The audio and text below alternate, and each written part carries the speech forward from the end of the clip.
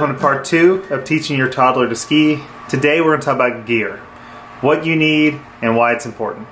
And if you missed our first video, we will link it in the description box below and that one is about why you should teach your toddler how to ski, what the benefits are of doing that at such a young age. And you can also check out our third video, which we will link in the description box, and that is about how, what you should actually do when you're out on the slopes with them. So let's dive into the gear.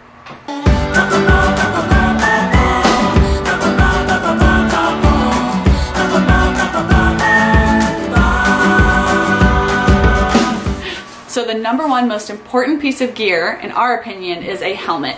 Um, we never ski without helmets, even as adults, and especially for young toddlers, their, their skulls are still forming, their minds are obviously still forming. Definitely you need to protect their heads um, with a full helmet. Um, and we'll show you the examples of Clara and Bryce's helmets. We also are huge proponents of us, like we said, we always wear helmets, but we're in particular very attuned to wearing helmets when we're skiing with our kids because we want to model that behavior to them. We don't want them to think like, well, once I'm bigger, I don't have to wear it. Um, working under the assumption that our kids are going to get better and better at skiing as we are and as they get older. Um, yeah, we just want to make sure that we're being safe. So that's number one piece of gear. Simply put, you know, helmets need to be cool. So that's what we want. We want Yeah. to show that we like helmets. Yeah, if They we're should- cool, Yeah, then they'll be cool. So, um, what I'll say is that we we really like the um, Giro helmets. Um, so both Katie and I have uh, Giro helmets. We both Yeah. bought both the kids Giro helmets. Things that we like is that um, down to youth sizes, they carry all the way down to extra small. They have an adjustment in the back um, for even the smaller heads. So all the way down to our two-year-old, or I guess he's what now? one and a half year old. Yeah, Bryce at one and a half was wearing an extra small, and Yeah. Clara we bought. I believe they have like an extra sal- small slash small. Small, So yeah. that's what we bought for her, um, and that's still fitting her really well. It fit her last ski season and this one now that she turned three. Yeah, but I can say that these are highly recommended, highly rated. Um, but these are these are great. So number two most important piece of gear are the skis and their boots. And I'll let Steven speak to this because you did some great research and I think found ones that fit them really well. Yeah. So obviously, when you buy skis, you know the kids are growing like weeds, so they're they're going to grow out of skis pretty quick. So you want to buy something that's within kind of their ability range that they can grow into it and use them for a couple years before they are ready to transition out. What we found were these eco skis.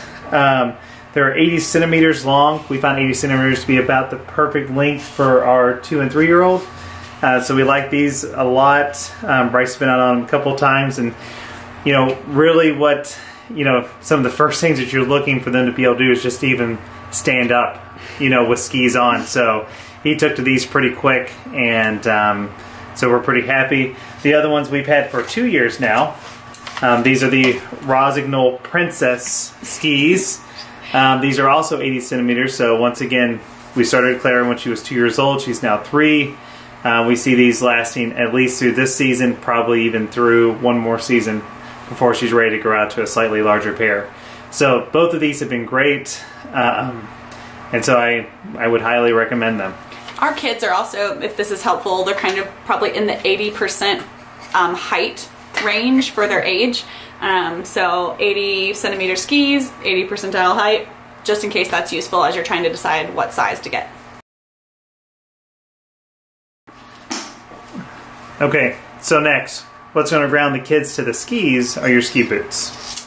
So the ski boots that we found um, that worked really well in their sizes were these Dalbello skis, uh, Dalbello brand skis, and when you look for ski boots, um, they're always measured in Mondo size.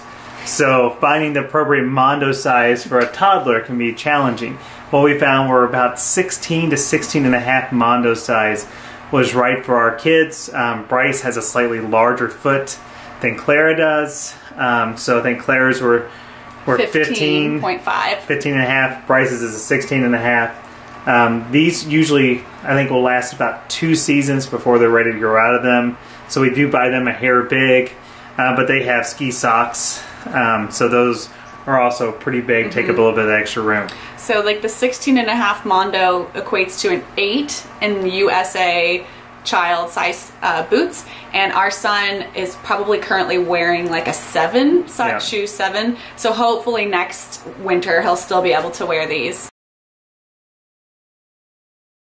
So obviously you're going to need a ski coat, ski uh, jumpsuit pants, um, so like a snow snow pants or a snow suit, and a really warm winter coat. Those are all really important. Underneath that, it doesn't really matter. I would say just like maybe not jeans. You should wear stretchy, comfortable clothes, long sleeve pants, long sleeve shirt, and um, they're also going to need some ski socks. Which what brand did We usually use Burton. Burton. Okay, yeah. Mm-hmm. Or I know that we probably bought some Camel. Oh no, that's not CamelBak. What is it? Oh, um, um, the wool ones. Smart Wool. Smart wool. So we've used Smart Wool and we've used Burton ski socks for toddler size, and that's worked out really nicely. You just want socks that are thick and that go almost all the way up their shin. Yeah.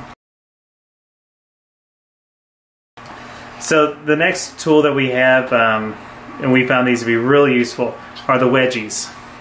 So these are Useful. Well, this can't be understated.